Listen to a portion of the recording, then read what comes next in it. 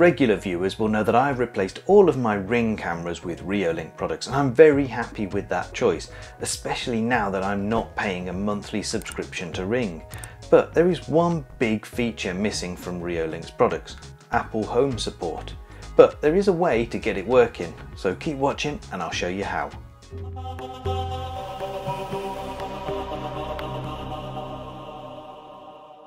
If you're an Apple user, then you'll know that the Apple Home app is a really convenient place to control your smart devices, especially as those devices can be controlled from your iPhone, iPad, Mac, or even Apple TV. In fact, it's the Apple TV that I really want my Reolink doorbell to work with, so as when someone presses the button on my doorbell, I get a nice pop-up image on my TV so as I can see who's there. Now there are a number of ways of getting your Reolink devices to appear in Apple Home, but I'm going to show you what I think is the simplest, but it uses Home Assistant and it really does rely on you already having Home Assistant up and running. If you don't, then you are going to need to look into that because whatever method you choose, you're going to need a dedicated little device that acts as a bridge between Apple Home and Reolink. The easiest way to run Home Assistant is on a Raspberry Pi. You just install Home Assistant to a micro SD card using the Raspberry Pi Imager software, stick the card in the Pi and power it on. There's a bit of a setup wizard to run through but nothing too difficult. You can of course run it on an old PC or laptop or a NAS as a Docker container or a virtual machine, but they're not easy methods for beginners.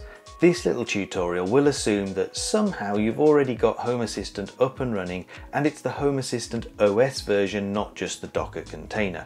If you go down the Docker route, you'll need to do more work to get it working than I'm going to cover in this video. Anyway, before we look at Home Assistant and that side of things, we need to make sure our Reolink cameras are configured properly. So you've got your camera or your doorbell all up and running in the app on your phone, but unfortunately you can't make advanced configuration changes using the app. You have to go and get the desktop software for Mac or Windows from their website to do that. So visit the URL on the screen right now and download the appropriate software for your computer, install it and run it. Now in my case, I have all of my cameras connected to a Reolink Home Hub, so I need to configure the settings on the Home hub itself. The same applies if you have a Reolink NVR. You want to configure the NVR, not the cameras themselves. If you don't have a home hub or an NVR, then you'll need to configure each camera directly and individually. What we basically need to achieve is enabling the settings that allows your camera feeds to be viewed on your local network by third-party software. So once you've got the Reolink software downloaded and installed and you've added all your devices to the device list here, uh, you'll need to configure the settings of your device. So in my case, I'm going to be doing this for the Reolink Home Hub. So I just click on this little right arrow here, which opens up the settings. I then go down to Customize and across to Network and I want Advanced and server settings. Now in here I want to enable HTTP which is on port 80, HTTPS on 443, RTSP and ONVIF. I'm just going to leave all of those ports default. Um, they're already enabled here so I'm just showing you where you need to go and then you'd click on save. Now if we go back to network and network information you'll see an IP address here. Now mine is 192.168.1.196. Uh, yours will probably be different. Uh, just write that down somewhere safe because you're going to need it in one of the next steps. Now it's time to jump on over to Home Assistant and make sure it can communicate with your cameras. So we're going to configure the Reolink integration. So this is an almost clean installation of Home Assistant and we go down to settings, devices and services. We're going to add an integration and we're going to search for the Reolink integration there. So Reolink IP NVR slash camera. Going to click on that and it'll load the wizard. Now, when you set up your cameras, you'll have been asked to configure them with a username and password. Uh, I'm going to type my password in there. Now, the host is that IP address that I asked you to write down and remember from when you configured the cameras in the Reolink software. So mine is 192.168.1.196. and then I'll click on submit and it'll take a few seconds. Hopefully it'll pop up with some devices that it's found. Any second now, if it's working. Fingers crossed. There we go. Right, success. I've got my doorbell, a backdoor camera, a back garden camera. You can see it's even pulled in the type of devices there. So I'm going to click on finish. Right. Now we need to go and look at those devices. Um, so if I click on the integration there, no, I don't want to save the password. Now you can see it's got six devices. So let's click on that and have a look. Now in this example, I'm going to be adding my doorbell to the uh, to the HomeKit um, configuration. So we click on front door doorbell there and there's two things, uh, two bits of information I need. So the first one is I need the video feed and you can see here this one here called Fluent. I'm going to click on that, click on the little cog icon and what I need to do is click on this copy button here and paste that somewhere safe. So just off the screen I'm pasting that into Notepad um, now this is the Fluent video feed, which is the low resolution one.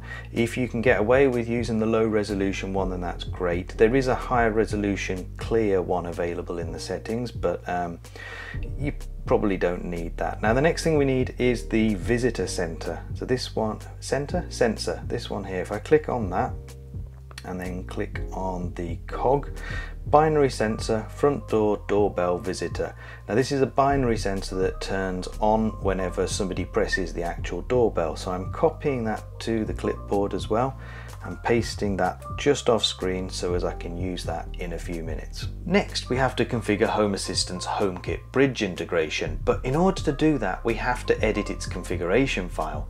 The easiest way to do that is by installing the file editor add-on. If you've already got this installed or have another preferred way to edit files in Home Assistant then you can skip this little bit. Okay, so to install the file editor add-on, we go down to settings, over to add-ons and down to the add-on store button. And then you can search in the little search box here if you want but it's actually just here this little green circle with a spanner in. So I'm going to click on that click on install and this takes a few minutes. I'm going to speed things up and I'll be back once it's finished Okay, so that's all installed. Uh, now that it's ready to go, we want to tick this little option that says show in sidebar and then click on the start button.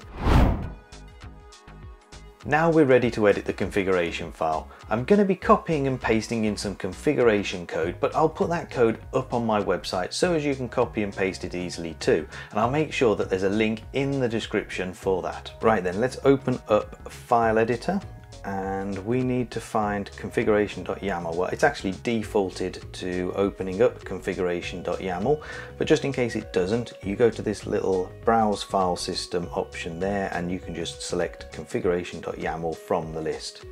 Okay, we're gonna make a little bit of space at the end of the file uh, and then we're going to paste in some configuration. Now don't forget this is all up on my website so you can just copy and paste it from there.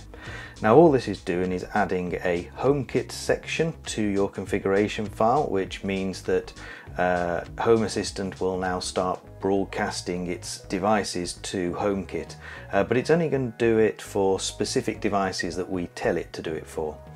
Um, now in this case I'm going to be doing my doorbell. So I've given it a name of front door doorbell. And you see this port value here? This one is 51829 now if you start from about 51829 if you've got multiple devices then you'll need to have a unique port for each uh, camera that we're adding uh, so if you're adding two, then the second one can be 51830, and then the next one 51831, and so on. Just keep increasing it. Uh, but we're going to start with 51829. The mode is accessory, which means we're just going to present one single device as an accessory to HomeKit. Uh, and then we're going to filter which accessories are allowed. It. Now we're including just one. Now you'll notice I've got a little bit of a placeholder here.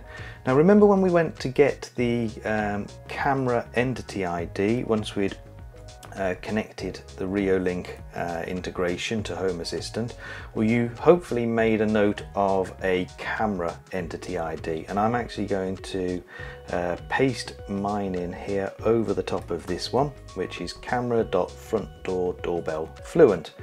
Now we also need to paste the exact same thing here don't forget on this one, it's got a little colon on the end. So it must have that little colon on the end. Uh, you can then customize it here because that's what this entity config section here is so you can customize them and you're going to give it a name. Uh, this is the name that will appear in Apple Home and I'm going to call it front door doorbell. Uh, this one here, support audio is true. So if you want to be able to hear the audio in the Home app, then you need to have this as true. And then lastly, linked doorbell sensor. Now this is where we paste that binary sensor so as when someone presses the doorbell button, it pops up in the Apple Home app as a, a notification. Uh, so this is basically how you connect the camera and the sensor together so as it's basically one device in the Apple Home app. And we want to save that by clicking up there we're going to go down to developer tools check configuration and it's going to make sure that it's valid. You see configuration will not prevent home assistant from starting. So that's good. That's green. That's good. We click on restart and we're going to restart home assistant completely and restart. And then come back once it's all finished now once it's rebooted, you'll need to get your iPhone out because Home Assistant will have generated a QR code for the camera accessory. If you look in Home Assistant, under notifications, you should see one with a code to scan. Open up the Home app on your iPhone, tap to add an accessory and scan the code. You should then be walked through the connection process and asked to choose a room for it and a name. Eventually, you'll see your camera appear on the main screen of your home app, and if you tap on it, it should open up the video feed. And that's it. You can repeat this process for each of the cameras that you have. Just make sure that you give each camera a unique port number in the configuration file. Now this solution isn't currently perfect. If you have a doorbell, then it currently doesn't support two-way audio, but if that situation changes, then I'll put an update down in the description for you. But apart from that, go and test by pressing the button and make sure you get an alert through on your phone. Anyway, I hope that you found this useful. If you did, then please give the video a like and don't forget to subscribe for free to see more from me. These amazing people here are my channel members and a massive thank you to them for supporting this channel. If you'd like to become a member too and get early access to my videos and some bonus behind the scenes content too, then check out the link in the description. Thank you for watching. Goodbye.